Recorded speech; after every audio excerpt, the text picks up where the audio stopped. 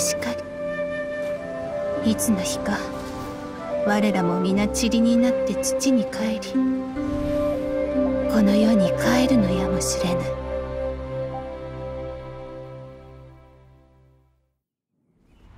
わらわは淡白な性格ゆえに感情も控えめで交際を好まぬ。紀州との付き合いも仕掛けの術の議論によるものだでもお前は結構友達が多いしおしゃべりも上手だと思うぞ。人前でひるまぬことと友人作りが好きということが等しいわけではあるまい。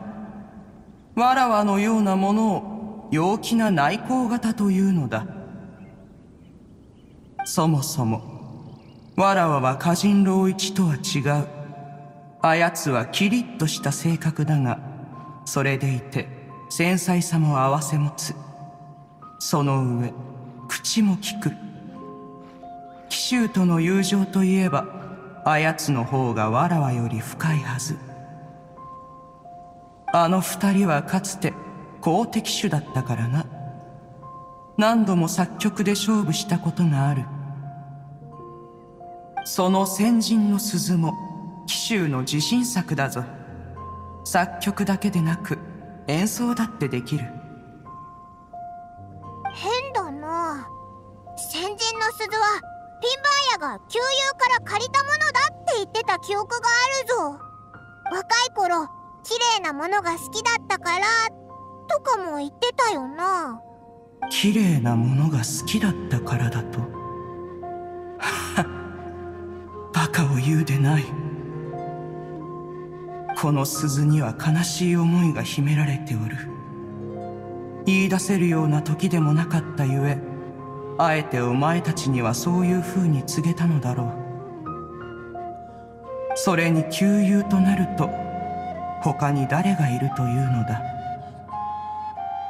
当時勝利という名の人が鈴を借りたいと言っておると聞いた歌人老一はすぐにそのものを帝君だと推測した。その上帝君が重要な決断を下したと判断したのだ。長年の付き合いであるゆえそのくらいのことは互いに思い当たるというわけだな。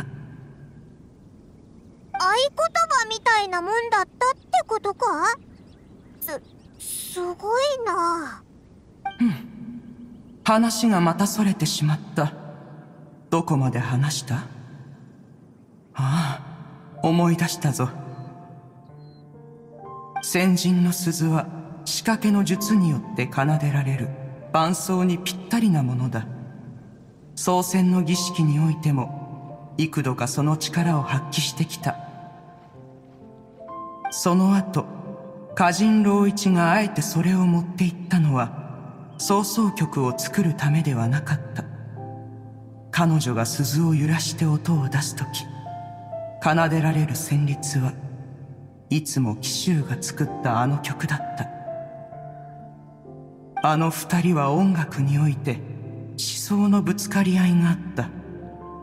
しかし誰も思ってもみなかったことなのだが紀州が言った後歌人老一が金をつまびいて彼女を忍んでいると二人の作った旋律が次第に一つになっていったのだ。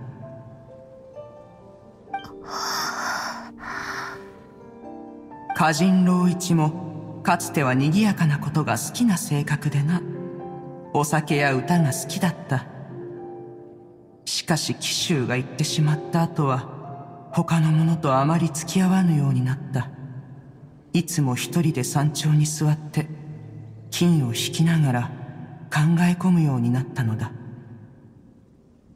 その音は悲しみに満ちていたり穏やかだったり感情が高ぶったり何年過ぎた頃かは知らぬがやがて奴はようやく満足のいく曲を作れたようだった。雲に向かって曲を奏でることでその喜びを示したのだ。残念ながらわらわがその曲を聴けたのはあれっきりだがお前たちの調べておる剣だがもしかしたらかのフォンテーヌ人の先祖はその頃水に溺れ歌人老一に救われたのかもしれんな。でもどうしてピンバーヤは満足できた曲を一回しか奏でなかったんだ？ふむ。わらわも気になってしょうがなかった。だから彼女に問うたのだ。こんなに手間をかけて編曲したものをなぜもう奏でないのだとすると彼女はこう言った。金の弦は切れていないが死因はもう行ってしまった。龍雲この曲は誰に聞かせればよい？うピンバーヤ幼い頃のことはしんくんの世話になっていたことしか覚えていません。魔人戦争が終わった後私は契約を果たすためにリーユー港に残りました。紀州には何度か会ったことがありますがそんな過去があったなんて知りませんでした。紀州は先を見通すことのできるものであったがこの世から去るのが早すぎた。雲海道天にある図面は未完成のままで残された空白を思うといつも忍ばれる。かの仙人を探していなければこのような王子もおそらく砂塵の中に封印されていたのだろう。今お前たちは人を救った仙女が歌人老一神君だと知ったわけだが彼女とこの件について話すのか？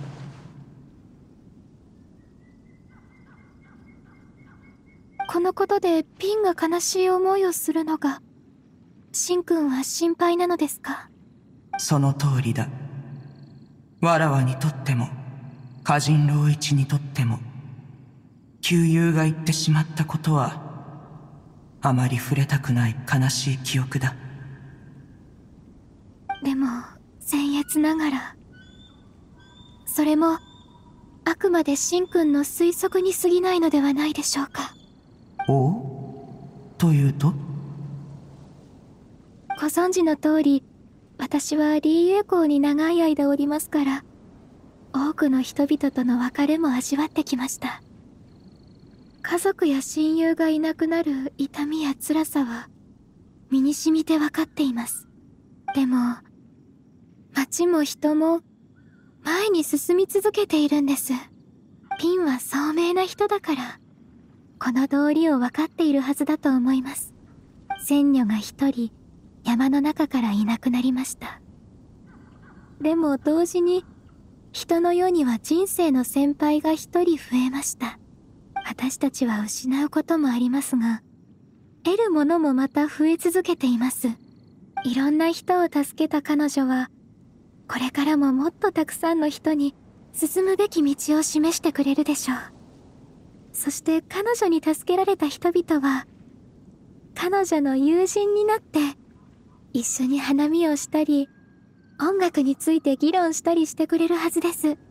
親友を亡くすのはもちろん悲しいことですが人生はそれでも続いていく。その先ではきっと新しい友人が彼女を待っているはずです。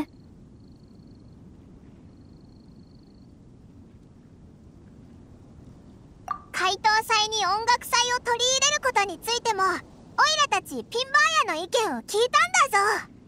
いっそのことあいつも誘ったらどうだ？もしかしたらピンバーヤのステージが見られるかもしれないぜ。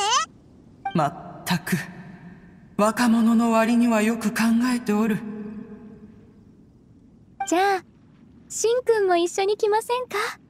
ピンもあなたとは久々の再会ですしそれに怪盗祭の間 PA 校もお祭りのために新しく飾り付けられているんですよ。怪盗祭だからといって何の新しいものがあるというのだ。あやつのことにしたって会いたければいつでも会える。それは違うと思います。毎日のどんな時間も毎年のどの月もそれぞれ全く違うものですずっと待っているだけというのは良くないです。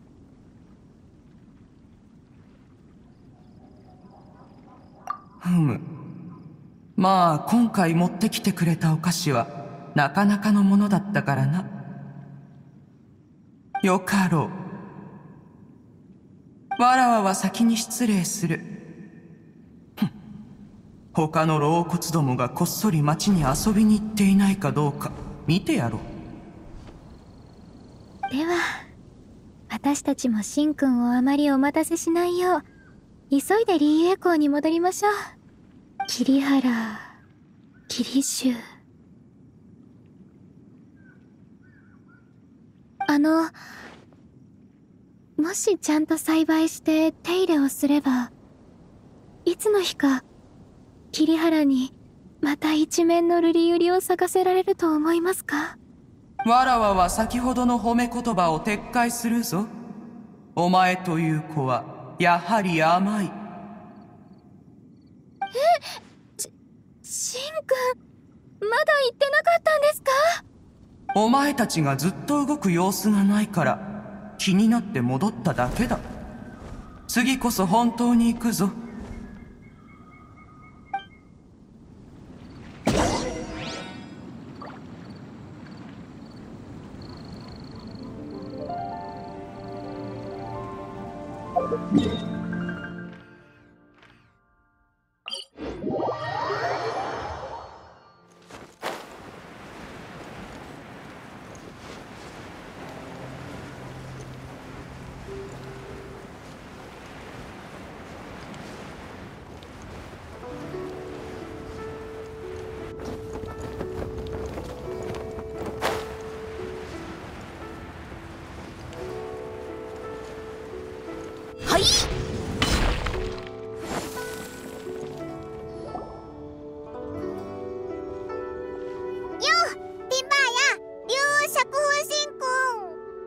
その足の速さだけは褒めてやる。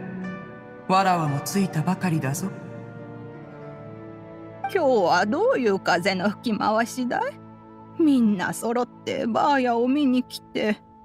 船長のお姉さん。まだ話してないのかよ。何を話すというのだ？それになぜわらわが話すことになっているのだ？ピンと一番長い付き合いなのはお前じゃないか。はあ。歌人。そうではなくここはピンと呼ぶべきか？龍雲。今日は話し方もいつもよりかしこまっておるのじゃな。そのええふ む時は怪盗祭。好天に恵まれ。風からは花の香りが。関羽お前に任せた。え？あはい。始まりは先祖を救った仙人を探すドボルザークさんに私たちが手を貸そうとしたことでした。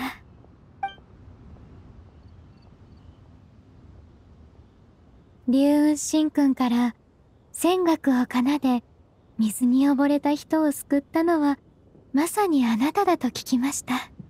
おおなるほどな。うん。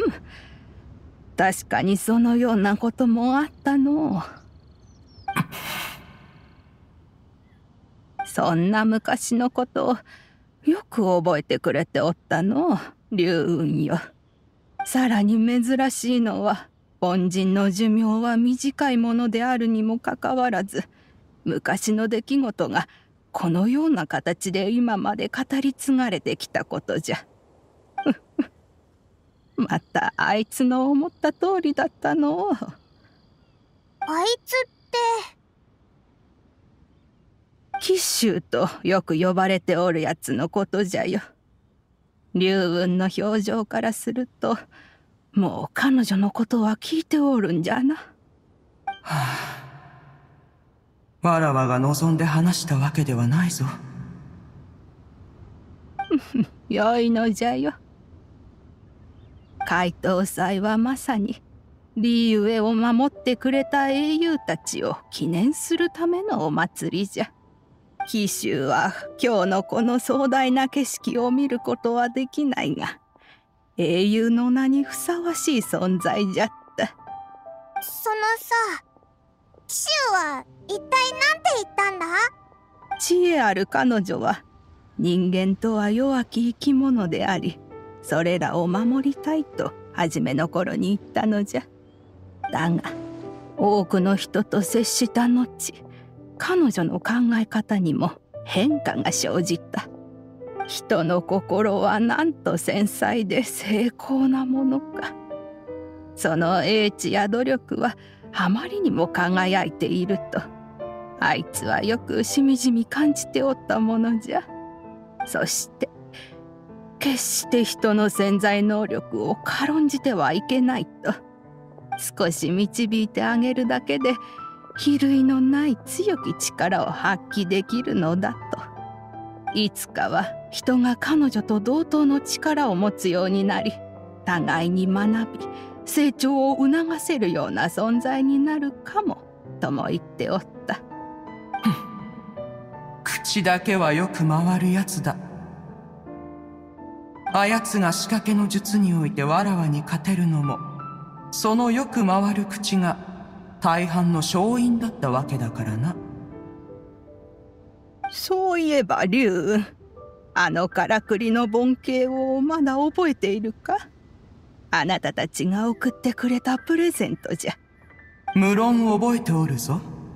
あれを作るのは大変だったからな。あれはわらわたち二人の技術の真髄がこもっていると言っても過言ではない紀州はな。すべての草や花が集まってこそ私たちの家だとばあやに告げたんじゃ。目の前にある。このリーウェと同じじゃよ。ピンバーヤ。なんだかセンチメンタルになってるみたいだな。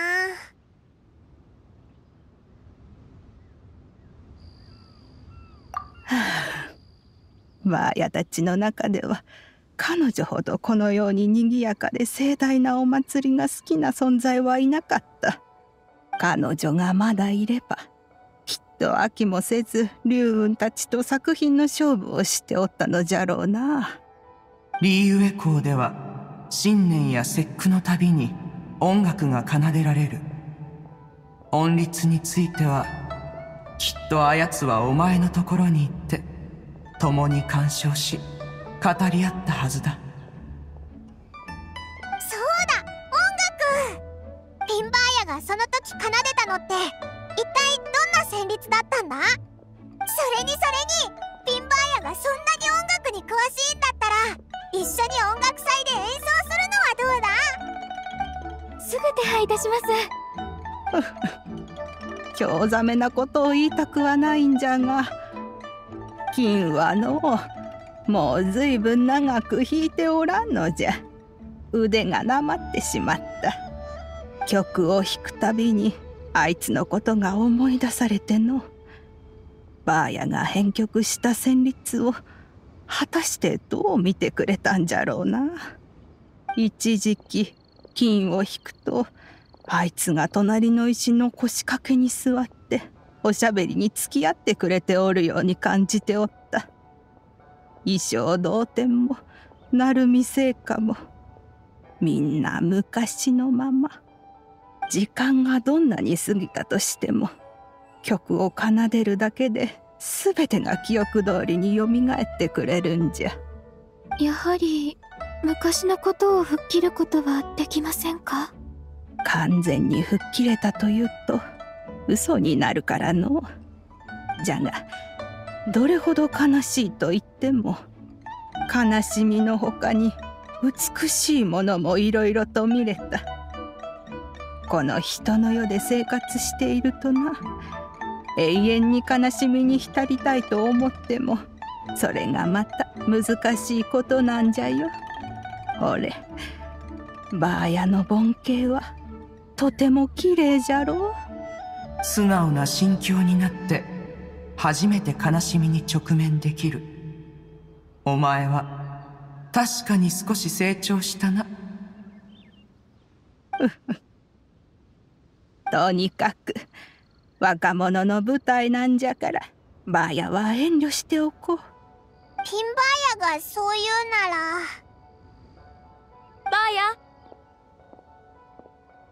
ーヤ？おやみんな大勢集まっちゃって何か事件でもあったのか？演技心配無用じゃ。大丈夫じゃよ。みんなバーヤに顔を見せに来てくれたんじゃ。いいことならいいんだ。ちょうどいい機会だから私からも挨拶させてくれ。解答祭を祝して。解答祭を祝して。あ私急に思い出したのですが。えー、っと月海底での仕事について園妃と相談しないといけないんです。それがずっと機会がなくて。ロボルザークさんの方はお願いしますね。シンくんピン先に失礼します。ええ今から？どの分野の事件を？カウン先輩。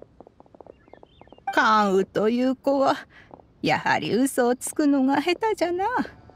わらわのおしゃべりのコツをちっとも吸収しておらぬとは残念じゃぞ。めったにない機会じゃ。龍雲少しくつろいだらどうじゃね。お茶を入れるからちょっと話でもしようじゃないか。うむ。わらわもやぶさかではない今度そのフォンテーヌ人の方に会ったらバーヤの気持ちも伝えてくれるかい？音楽祭が大成功を収められますようにと。任せろピンバーヤ。ありがとうね。バーヤの話をいろいろ聞いてくれて。あの旋律についてはいつかバーヤの準備が整ったら言いてあげよう。やった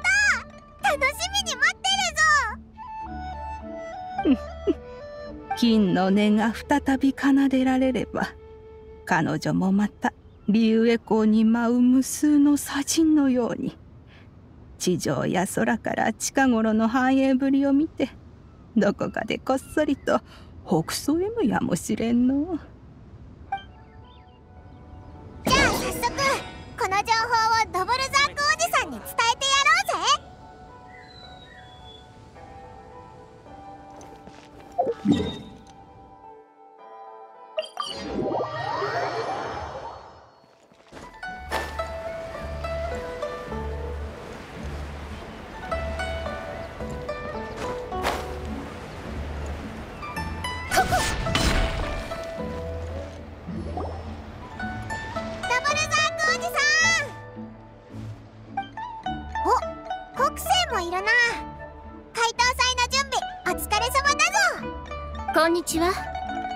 は順調だった？順調順調絶好調だぜ。おじさんが探してた人もオイラたち見つけられたぜ。ほ本当か。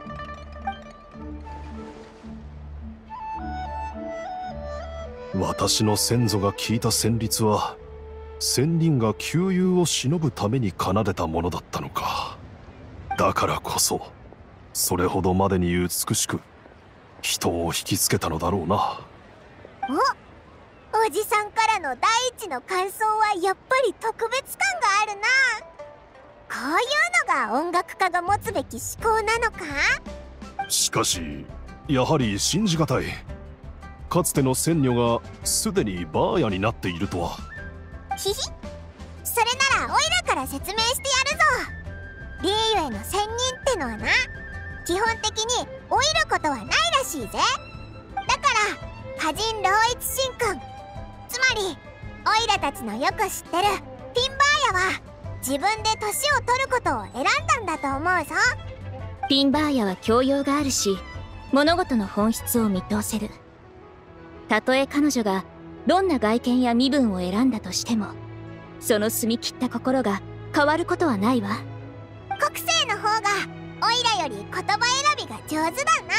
ひひおいらも同じことが言いたかったんだぞ。ちゃんと。ああ。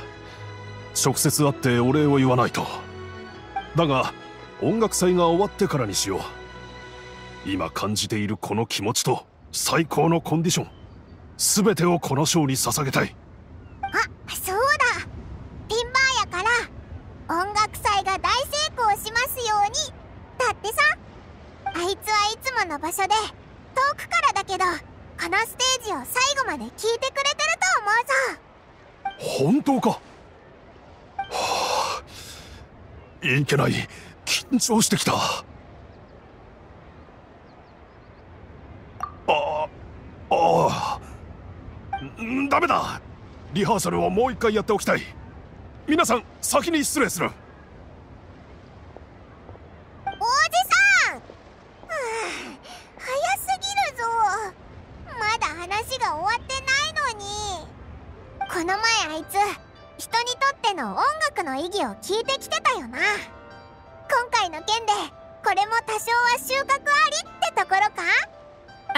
感想があるならぜひ聞かせて。えっと音楽はいいことのために使われるけどそれを使って悪事を働くこともできるんだってオイラたち気づいたんだ。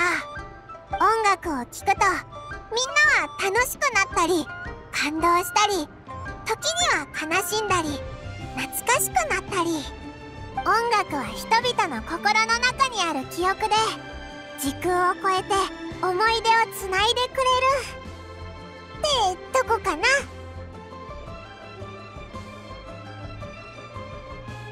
君たちも色々あったみたいね。構わないわ。後でカウンが全部教えてくれるはずだから。国生はまだやることがあるのか？ええ。でも後片付けが少し残ってるだけで大変な仕事ではないわ。みんなが喜んでくれるならどんな努力も報われるもの。ええ。解答祭を祝して。ふこれで全部片付いたな。おや待てよ。何か忘れてる気がするぞ。うんなんだっけ。えー、っと初めから思い出してみるぞ。あああのこうなんとかのタケノコだ。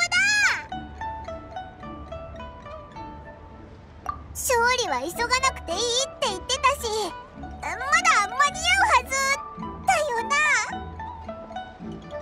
間に合わなくてもオイラたちのせいじゃないぞ。自分で取りに行かないあいつのせいだからな。まあいいか。そんなこと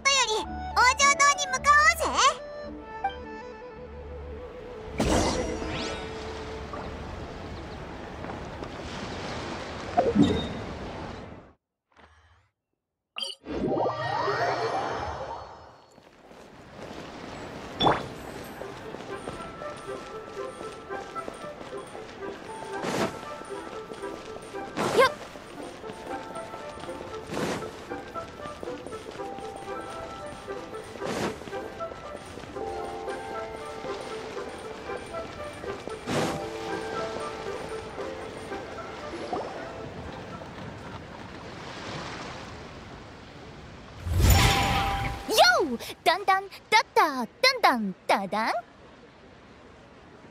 だんだんだんだだだんだんだだだだだだんだんだだだんだんだんよしそこまで！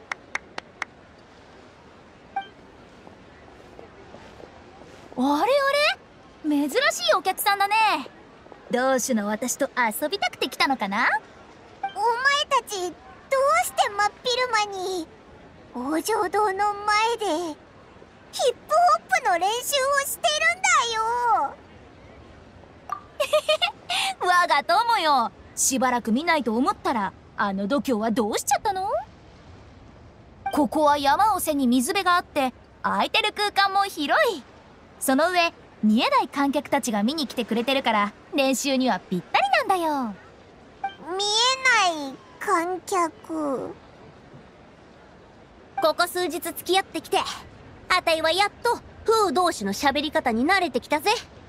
初めの頃は新栄さんもかなりびっくりしてたでしょ？巨大なカエルを見たみたいに。よせよ痛いところをつかないでくれ。どうしたの？そんな困ったような顔しちゃって。しょうがない。思いやりにあふれたこの私が説明してあげるよ。芸術の才を集めしイリデッセンスツアー。路地裏に潜む詩人の私がこのチャンスをみすみす見逃すわけにはいかぬ。私が詩を書き信円が指針を決め恩先生は繊細な細部を作り込む。この開幕をのけから最もビッグな霊下に。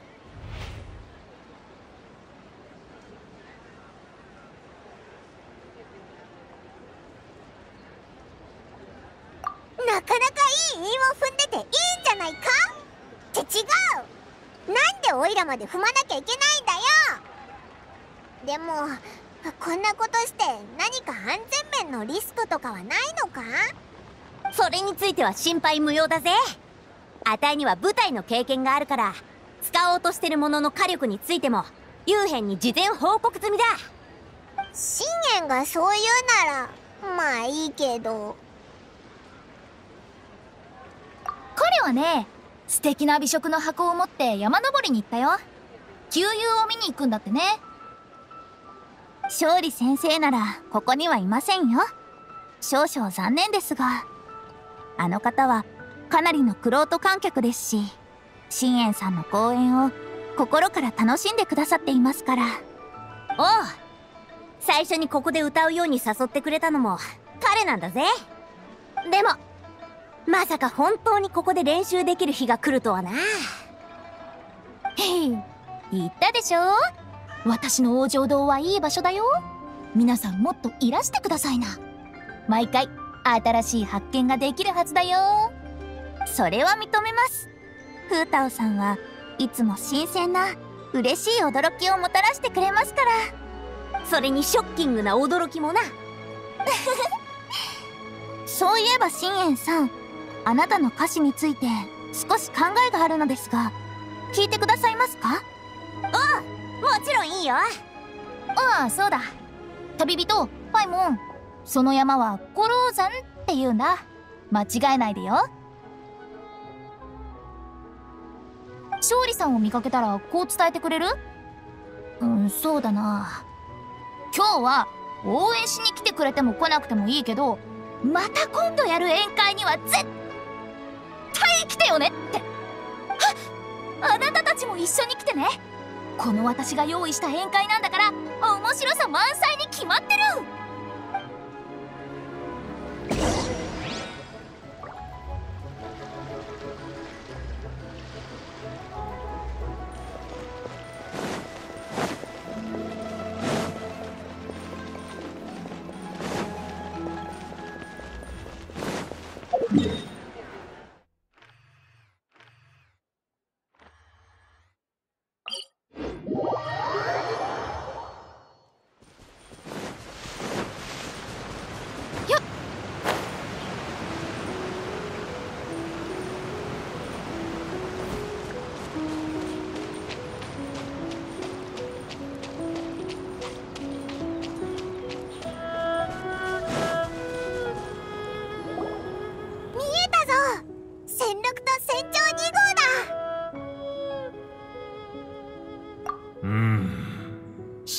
った顔だ。リーウェイ港から来たのだな街の様子は最近どうだ？バッチリだぜ。気になるんだったら自分で確かめに行ったらどうだ？昨月は最近よく天候山を散歩しているんだ。おそらくリーユエ港の様子もとっくにその目で見てきただろう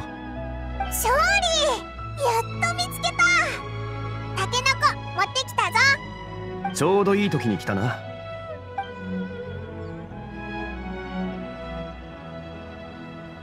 本格的なイエンデューシェンはとろ火で煮込む必要があるがこういう風に仙人の仕掛けの術によって促成を促せばある意味近道ができる。その装置ってまさか。龍雲のからくり調理人機だ。貸してもらったもう煮込み機って呼んだらいいんじゃ。やっぱり何でもないぞ。装置には制作者の気持ちが込められてるかもしれないって考えるとやっぱり勝手に名前を変えるのは良くないよな。また見聞を深めてきたのか。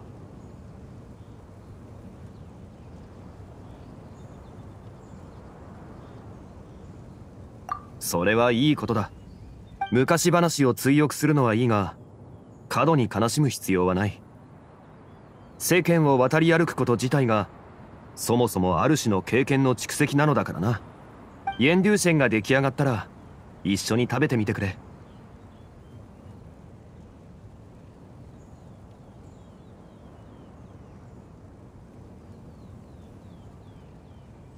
そうだ勝利。フータオから伝言を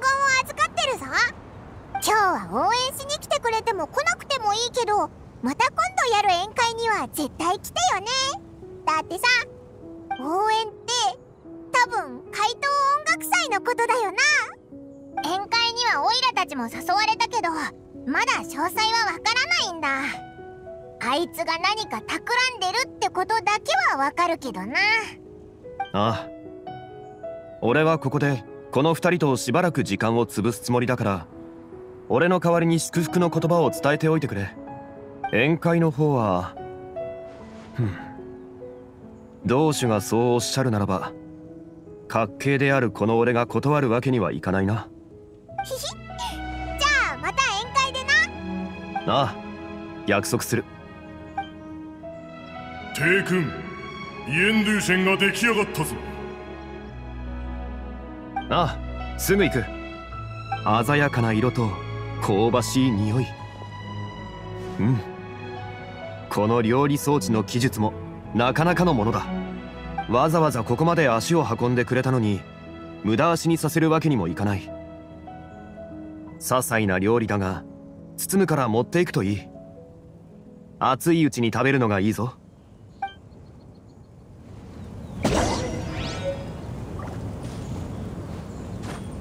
俺はもう少し旧友と世間話をするつもりだ。旅人はまだやることが残っているんだろう。開演に間に合うよう早めにリユエコへ戻るといい。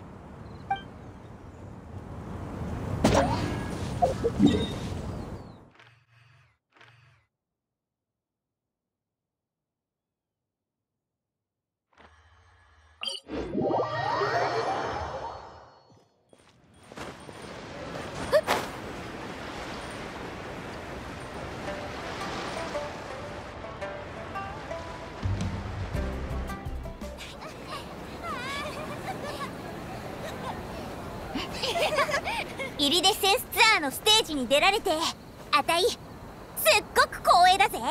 それじゃあフータオとあたいの舞台耳を澄まして楽しんでいってくれ。その名も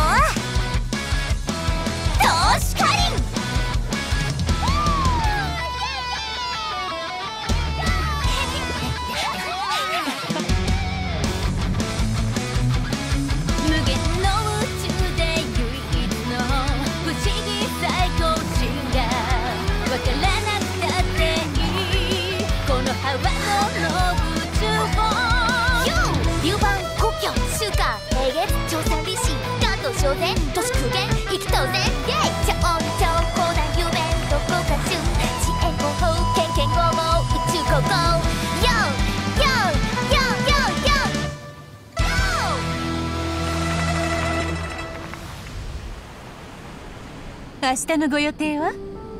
今年のねぎらいに素敵で簡単な食事会でもどう？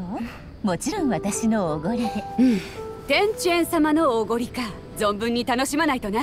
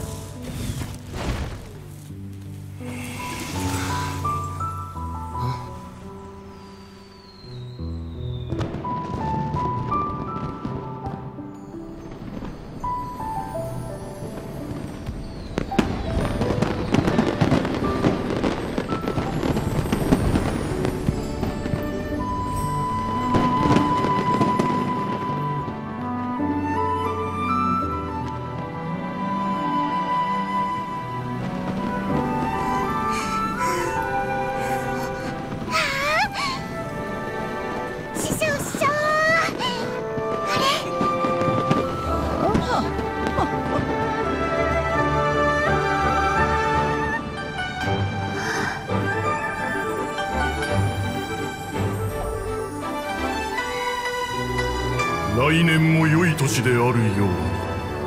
きっとそうなる。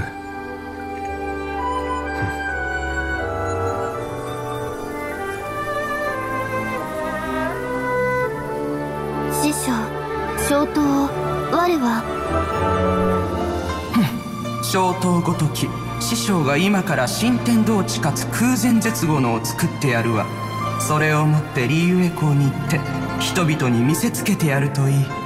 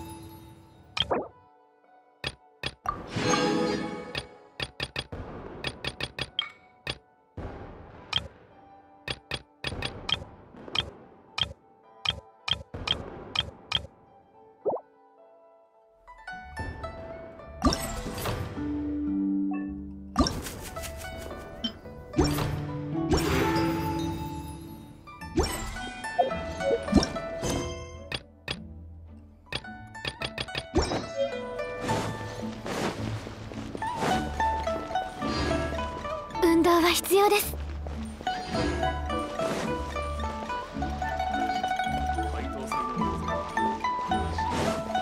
次の仕事は？よし！あたいも急いで新曲作りに集中しないとな。もう夢が一つ叶ったばかりなのにまた新たな目標を見つけたのですか？あんただってそうだろ？どうせ新しい劇の名前もすでに考えてあるくせに。やはり私のことを一番知ってるのは信玄さんですね。都線法線。というのはいかがですか？おお臨場感が半端ないぜ。主題を引き立てる宣伝文も考えました。金天流音雲間に轟く。としましょう